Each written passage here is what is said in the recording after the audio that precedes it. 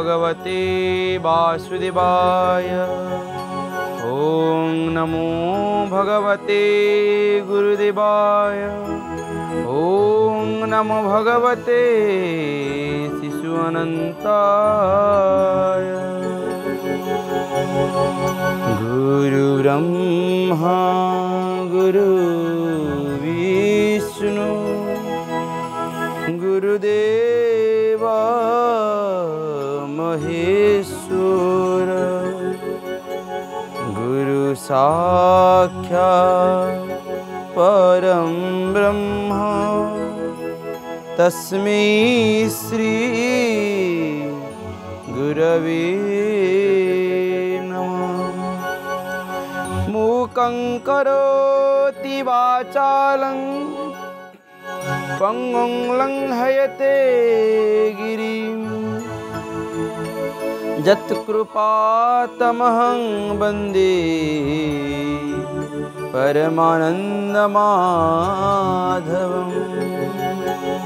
निगमकल्पतरुरुगलितं फलं सुखमुखादमृतद्रवसञ्युतं पीबत भागवतं रसमालयं মুহুরহ রসিকা ভুবি ভাবুকা। জয় শিশুয়ানন্ত রাজা রাম। জয় সত্য সনাতন, কল্কি রাম। জয় শিশুয়ানন্ত রাজা রাম। জয় সত্য সনাতন কড়কি রাম? জয় শিশু অনন্ত, রাজা রাম। জয় সত্য সনাতন কড়কি রাম? জয় শিশু অনন্ত, রাজা ସତ୍ୟ ସନାତନ କଳକେରା ଦୟା ଶିଶୁ ଅନନ୍ତ ରାଜା ରାମ ଜୟ ସତ୍ୟ ସନାତନ କଳକେରା শিশু অনন্ত রাজা রা जय सत्य सनातन कड़कीरा जय शिशु अनंत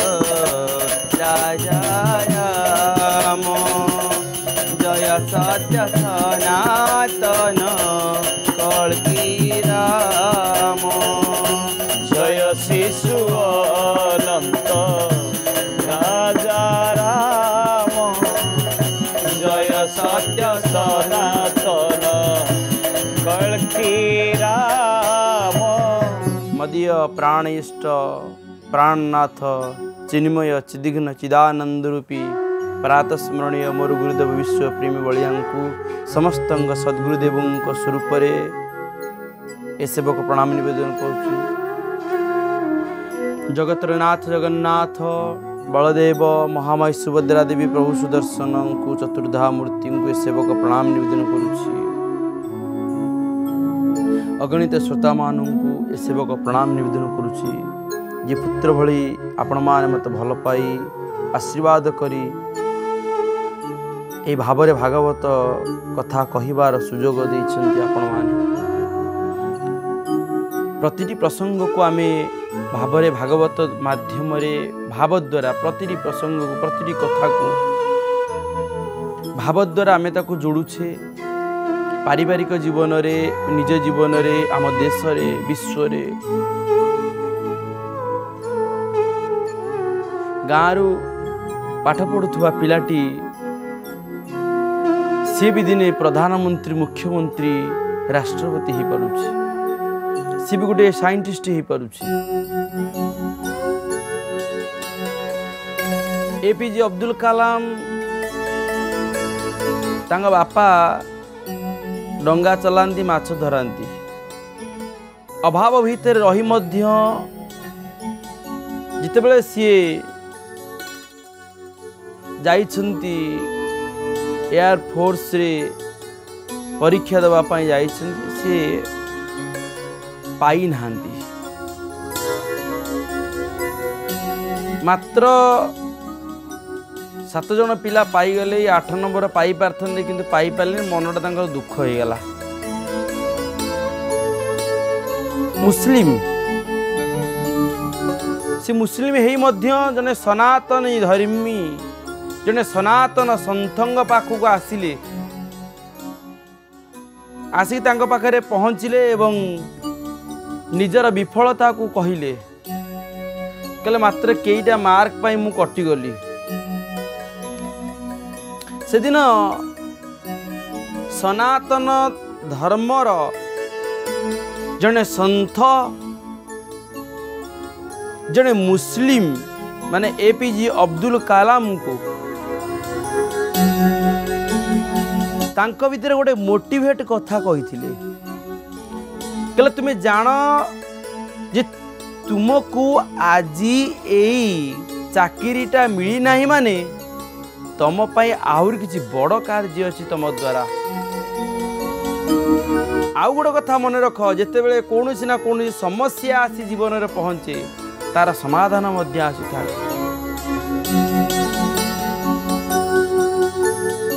ଏ କଥା ଶୁଣିବା ପରେ A P J Abdul Kalam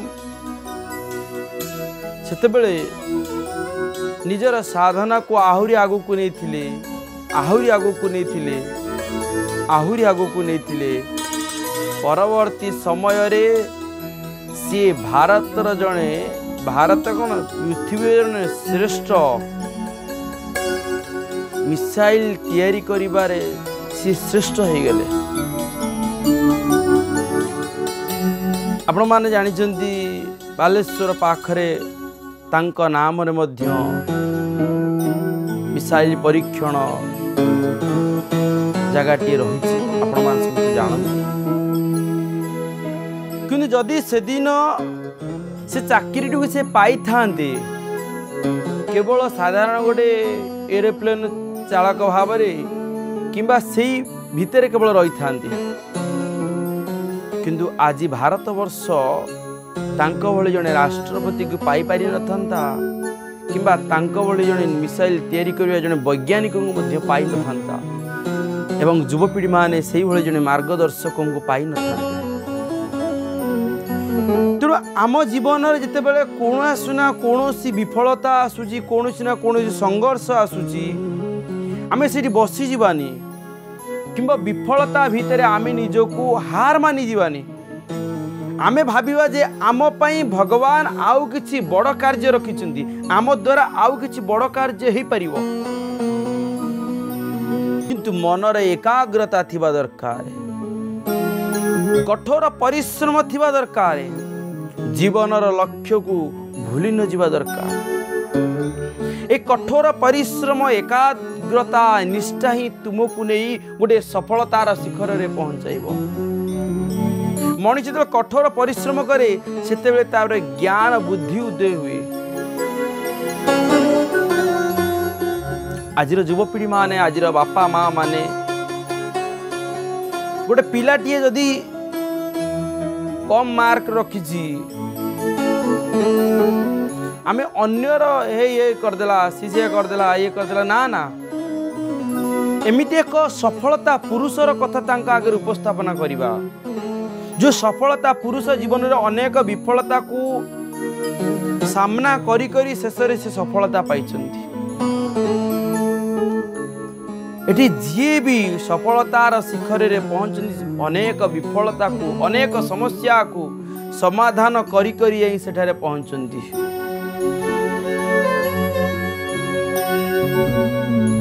ନୀରବ ରହିଲେ ତମେ ଯେତେବେଳେ ନୀରବ ରହିଯିବ ନିଜକୁ ନୀରବ କରିଦେବ ସେତେବେଳେ ତମ ପାଇଁ ସବୁ ବାଟ ଆପେ ଆପେ ଧୀରେ ଧୀରେ ବନ୍ଦ ହେଇଯିବ। ରାସ୍ତା ଅନେକ ଅଛି। ବାଟ ଖୋଜିବାର ଦାୟିତ୍ୱ ତୁମର।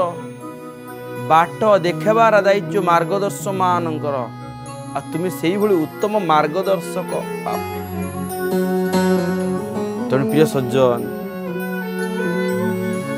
ଏଇ ଜୀବନ ପାଇଁ ଆମେ ଖାଉଛେ ଘରଟିଏ କରିଛେ ଜାଗା ବାଡ଼ି ଖଣ୍ଡେ ରଖିଛେ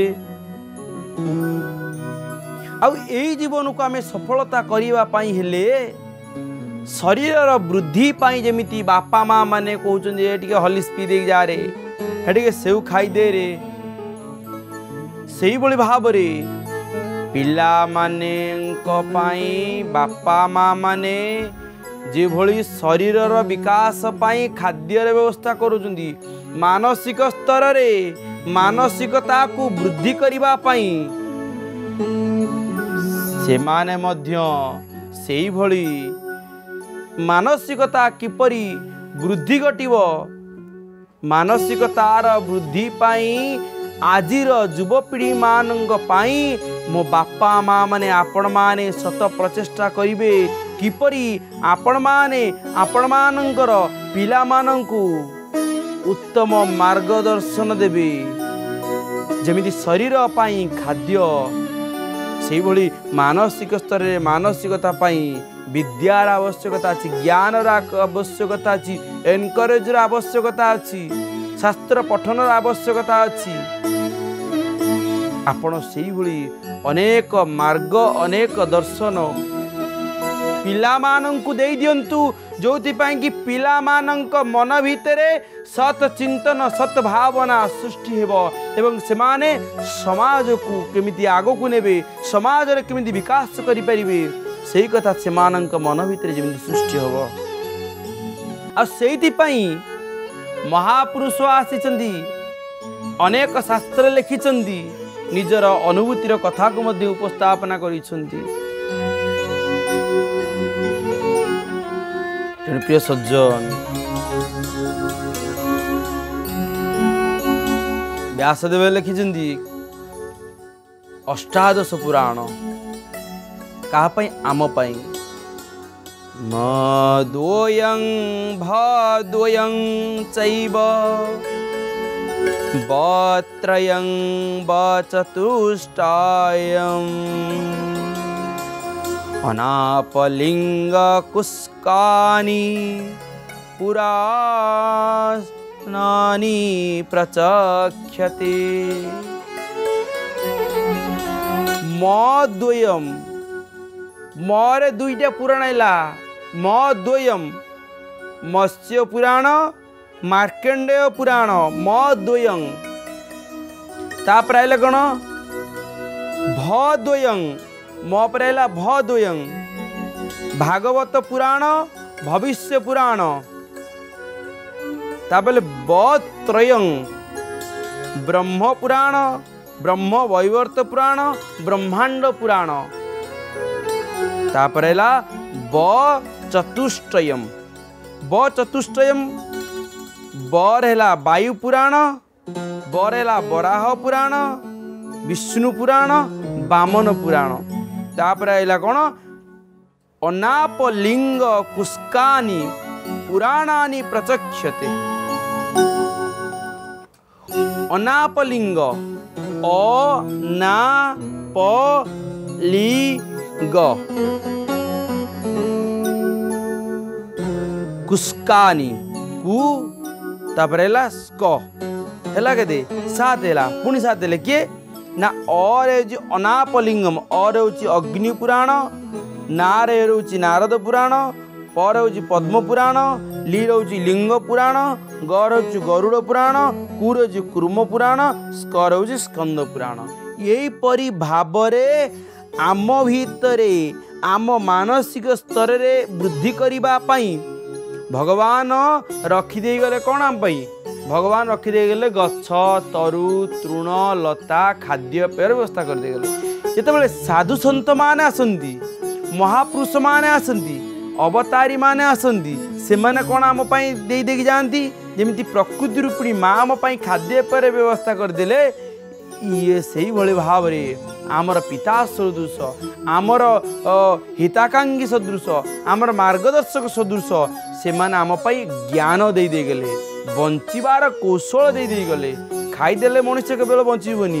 ବଞ୍ଚିବା ପାଇଁ ପୁଣି କ'ଣ ଦରକାର? ମାନସିକ ସ୍ତରରେ ଶାନ୍ତି ଦରକାର। ତ ସେଥିପାଇଁ ଅନେକ ପୁରାଣ ମଧ୍ୟ ଲେଖିଲେ। ଏତେ ପୁରାଣ ଲେଖିବା ପରେ ବ୍ୟାସଦେବ ସରସ୍ୱତୀ କୂଳରେ ମନ ଦୁଃଖ କରିକି ବସୁଛନ୍ତି। ବସିବାର କାରଣ କ'ଣ? ଯେ ଏତେ ପୁରାଣ ଲେଖାଗଲା ତଥାପି ଲୋକଙ୍କ ଭିତରେ ଆଧ୍ୟାତ୍ମିକତା ଜାଗ୍ରତ ହେଉନାହିଁ ହଁ ବର୍ତ୍ତମାନ ବହିଟିଏ ଲେଖା ହେବ କାହିଁକି ନା ଯଦି ବହିଟା ଭଲ ବିକ୍ରି ହେବ କି ଭଲ ଭିଓର୍ସ ହେବ ଟଙ୍କା ମିଳିବ ଏଇଆ ତ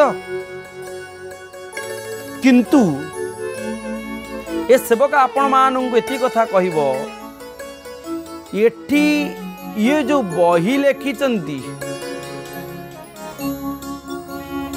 ଇଏ କାହିଁକି ଲେଖିଛନ୍ତି କ'ଣ ସେତେବେଳେ ବିକ୍ରି ହେଉଥିଲା ବହି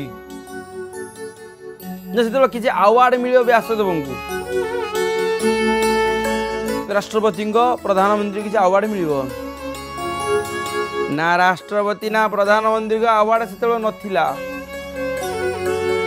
ସେମାନେ ପରା ମୁନି ଋଷିମାନଙ୍କୁ ମାର୍ଗ ମୁନି ଋଷିମାନେ ପରା ପ୍ରଧାନମନ୍ତ୍ରୀ ମାନେ ସେତେବେଳେ ରାଜାମାନଙ୍କୁ ମାର୍ଗଦର୍ଶନ ଦେଉଥିଲେ ଏଇ କ'ଣ ସମ୍ମାନ ପଛରେ ଗୋଡ଼ଉଥିଲେ ନା ସମ୍ମାନ ତାଙ୍କୁ ଗୋଡ଼ଉଥିଲା ସିଏ ଓଲଟି ଅନ୍ୟକୁ ସମ୍ମାନ ଦେଉଥିଲେ। ତେଣୁ ଏଠି ବ୍ୟାସଦେବ ଯେଉଁ ଶାସ୍ତ୍ର ସବୁ ଲେଖିଥିଲେ ପୁରାଣ ଲେଖିଥିଲେ କାରଣ ଥିଲା ଆମ ଜୀବନର ଗଠନ ପାଇଁ।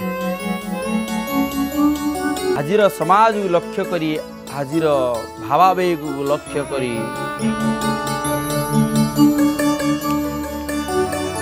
ଆଜି ଯେତେବେଳେ ଏଇଭଳି ଏକ ଘଟଣା ଘଟିଗଲା ତେବେ ଆପଣମାନେ ଚିନ୍ତନ କରନ୍ତୁ। ବ୍ୟାସଦେବ କ'ଣ କଲେ? ଦେଖିଲେ ଇଏ ମନୁଷ୍ୟମାନଙ୍କ ଉପରେ ପ୍ରଭାବ ପକେଇବା ପାଇଁ ହେଲେ ଆଉ କିଛି ଲେଖିବା ପାଇଁ ପଡ଼ିବ। କ'ଣ ଲେଖିଲେ? ଲେଖିଲେ ଭାଗବତ। ଭାଗବତ। ଶ୍ରୀମଦ ଭାଗବତ କ'ଣ ଲେଖିଲେ? ଭାଗବତ ଲେଖିଲେ। ଦେଖିଲେ ଅନେକ ପୁରାଣ ଲେଖିଲି। ସେ ପୁରାଣ ଭିତରେ ବହୁତ ଜ୍ଞାନ ରହିଲା। ହେଲେ ଲୋକମାନଙ୍କ ଭିତରେ ତ କେମିତି ଭାବ ସୃଷ୍ଟି ହେଲେ ଯଦି ଭାବ ନ ସୃଷ୍ଟି ହେବ।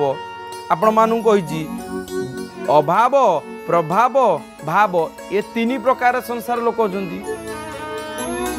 ଯେଉଁମାନେ ଅଭାବରେ ଆସିଲେ ଆଲୋ କ'ଣ କରିବୁ? ମନ୍ଦିର ଗତି ଯାହାଲୋ ପରୀକ୍ଷାଟା ଦିଆହେବ ମନ୍ଦିର ଗତି ନଗଲେ କେମିତି ହେବ? ଅଭାବ ପଡ଼ିଗଲା। ଆରେ ସେ ଗ୍ରହ ନକ୍ଷତ୍ର କ'ଣ ପଡ଼ିଛି? ମନ୍ଦିର ଗତି ଯାଅ। ପ୍ରଭାବ ଆରେ ସେ ପ୍ରଭାବଶାଳୀ ଲୋକ ଏଇ ଦ୍ୱାରା ତାଙ୍କ ଦ୍ୱାରା ଏଇ କାମଟା ହେଇପାରିବ। ତ ଇଏ ସବୁ ଜାଗାକୁ ଯିବା ଦ୍ୱାରା ଏଇ ସବୁ ଭାବ ନେଇକି ଇଏ ସବୁ ଚିନ୍ତାଧାରା ନେଇକି ଜାଗା ଗଲେ ଗଲେ କ'ଣ ହେବ? ଏଇସବୁ ଲୋକମାନେ ଯେତେବେଳେ ଆସନ୍ତି ସେମାନେ କ'ଣ ହେବେ? ଏ ଚାରି ପାଞ୍ଚ ଦିନ କି ଦଶ ଦିନ କି ମାସେ ବର୍ଷ ପରେ ସେ ରାସ୍ତାରେ ହଟିଯିବେ। କିନ୍ତୁ ଭାବ ହେଉଛି ଗୋଟେ ମାର୍ଗ। ପ୍ରତିଦିନ ସେମାନେ ପ୍ରାର୍ଥନା କରିବେ ପ୍ରତିଦିନ ଭଗବତ କଥା ଆଲୋଚନା କରିବେ ପ୍ରତିଦିନ ଭଗବତଙ୍କର ସାନ୍ନିଧ୍ୟ ପାଇବା ପାଇଁ ବ୍ୟାକୁଳ ହେବେ। ଇଏ ହେଉଛି ଜୀବନର ବାସ୍ତବରେ ଧାରା ଇଏ ହେଉଛି ବାସ୍ତବରେ ଭାବ। ଏଇ ଭାଗବତ ଭିତରେ ଅନେକ ଶାସ୍ତ୍ରରେ ଲେଖିବା ଭାଗବତ କାହିଁକି ଲେଖିଲେ ବ୍ୟାସଦେବ ଅଷ୍ଟାଦଶ ପୁରାଣ ତ କହି ଲେଖିଲେ ମତ୍ସ୍ୟ ପୁରାଣ ମାର୍କଣ୍ଡେୟ ପୁରାଣ ଭାଗବ ଭାଗବତ ପୁରାଣ ଭବିଷ୍ୟ ପୁରାଣ ଏସବୁ ପୁରାଣ ଲେଖାଗଲା ତା ଭିତରେ ଭାଗବତକୁ କାହିଁ ମୁଖ୍ୟ କଲା କାହିଁକି ଏତେ ପୁରାଣ ପରେ ତା ଭିତରେ ଭାଗବତ ପୁରାଣକୁ କାହିଁ ମୁଖ୍ୟ କରାଗଲା ତା କାରଣ ହେଉଛି ସେଇ ଗୋଟିଏ ସେ କାରଣ ହେଉଛି ମନୁଷ୍ୟ ଭିତରେ ଭାବକୁ ସୃଷ୍ଟି କରିବା ପାଇଁ। ସେଇଥିପାଇଁ ଆପଣଙ୍କୁ କହିଲି ମ ଦ୍ୱୟଂ ଭ ଦ୍ୱୟଂ ତେଣୁ ପ୍ରିୟ ସଜ୍ଜନ ଆମେ ଏଠି ଜାଣି ରଖିବା ଦରକାର ଯେତେ ଶାସ୍ତ୍ର ପଢ଼ିଲେ ଯେତେ ଜ୍ଞାନର ଅଧିକାରୀ ହେଲେ ଯଦି ଆମ ଭିତରେ ଭଗବାନଙ୍କ ପ୍ରତି ଗୁରୁଙ୍କ ପ୍ରତି ଭାବ ନାହିଁ ଆମ ପରିବାର ପ୍ରତି ଭାବ ନାହିଁ ତେବେ ଏସବୁ ଜ୍ଞାନ ମଧ୍ୟ ବିଫଳ ହେଇଯିବ। ସେଇଥିପାଇଁ ତ କହୁଛନ୍ତି ନା ମାନବର ସେବା କର ମରିବ ନାହିଁ। ମରା ମରା ଅକ୍ଷରଟି ଜମଡର ମାନବର ସେବା କର ମରିବ ନାହିଁ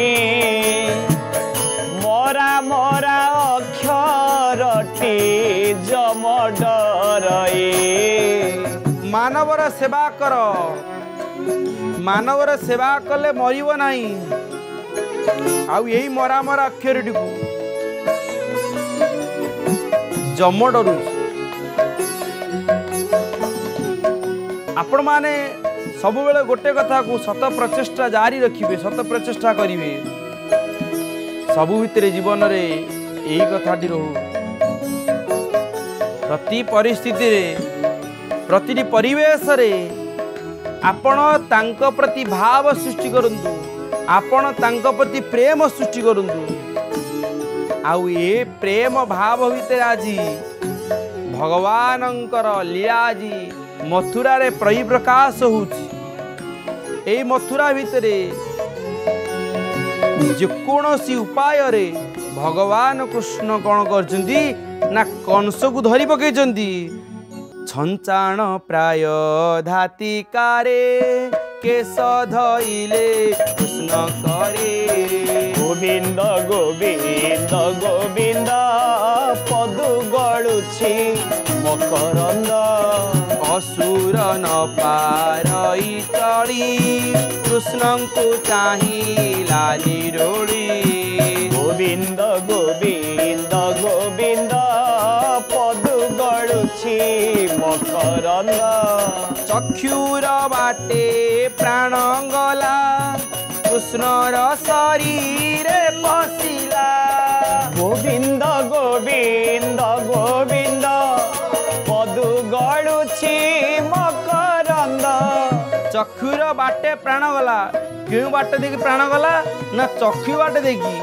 ଚକ୍ଷୁ ବାଟେ ଦେଇକି ପ୍ରାଣ ଗଲା। ଦେଖନ୍ତୁ କି ଆଶ୍ଚର୍ଯ୍ୟର କଥା ଇଏ ଦେଖ। କୋଉ ବାଟେ ଦେଇଗଲା ନା ଚକ୍ଷୁର ବାଟେ ଦେଇକି ପ୍ରାଣ ଗଲା। ଆଶ୍ଚର୍ଯ୍ୟ କଥା ନୁହଁ। ସମସ୍ତେ ଭାବନ୍ତି କ'ଣ କୋଉ ବାଟେ ଦେଇଗଲା ନା ଚକ୍ଷୁର ବାଟେ ଦେଇଗଲା ଚକ୍ଷୁର ବାଟେ ଦେଇଗଲା ମାନେ କ'ଣ? ନା ଭଗବାନଙ୍କୁ ଦର୍ଶନ କରୁ କରୁ କଂସର ଜୀବନ ଚାଲିଗଲା।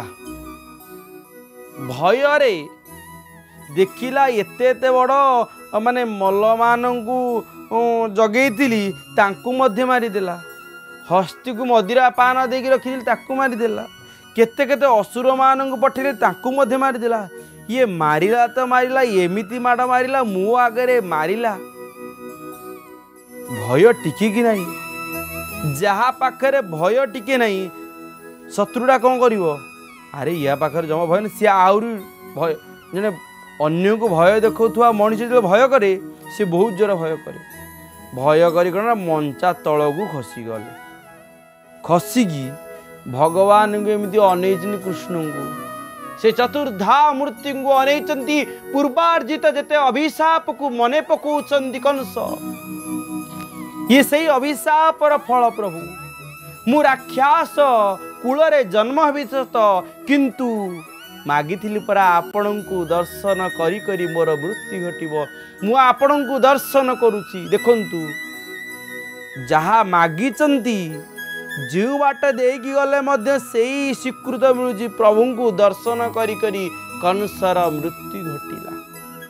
ଏବଂ ସେଇ କଂସର କଥାକୁ ନେଇ ଭଗବାନ କୃଷ୍ଣ ଆଜି ଭକ୍ତମାନଙ୍କ ପାଖରେ କ'ଣ କହୁଛନ୍ତି? ଆସନ୍ତାକାଲି ସକାଳ ଛଅ ଘଟିକାରେ ଆମେ ଶ୍ରବଣ କରିବା ଏବଂ ଆନନ୍ଦରେ କହିବା ଭଜ ମନ ଭଜ ମନ ଭଜ ମନ ଭଜ ମନ ଭଜ ମନ ଭଜୁ ଥାରେ। ଭାଗବତ କଥା ତୁଣ୍ଡେ और थारी व्यथा। टुंडे गाई, मुंडे बोड़ी और थारे व्यथा। भज मन भज मन भज मन भज मन भज मन, भजु थारे। भागवत कथा। तुने गाई, मुंडे, बोली और थारे व्यथा। सुने गाई मुंडे बोली और थारे व्यथा। तुंडे गाई मुंडे बोली और थारे व्यथा।